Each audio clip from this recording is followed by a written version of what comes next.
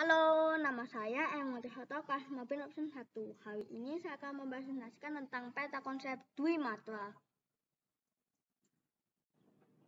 Dwimatra adalah gambar yang berbentuk dua dimensi atau 2D, karya yang hanya dapat dinikmati dari satu arah, yaitu arah depan, sebab karya ini hanya memiliki dimensi panjang dan lebar.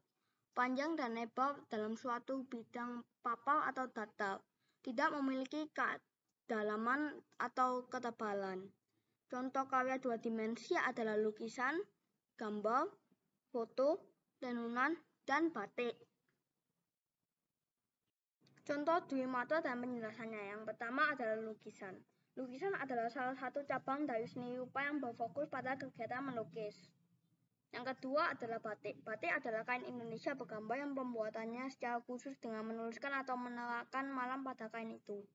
Kemudian pengolahannya diproses dengan cara tertentu.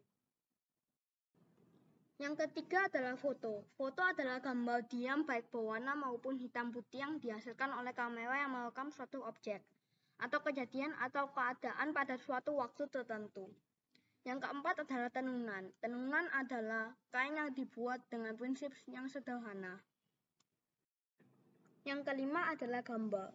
Gambar adalah kegiatan membentuk citra dengan menggunakan banyak pilihan teknik dan alat. Sekian penjelasan tentang Dwi Mata dari saya. Terima kasih. Bye-bye.